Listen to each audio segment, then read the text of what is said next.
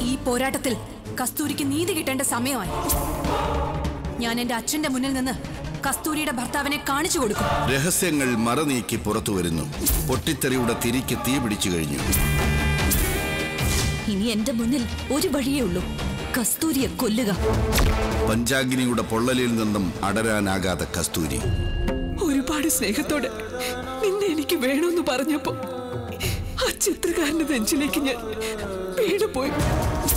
അയാളുടെ പേര് എനിക്ക് മാത്രമേ അറിയുള്ളൂ.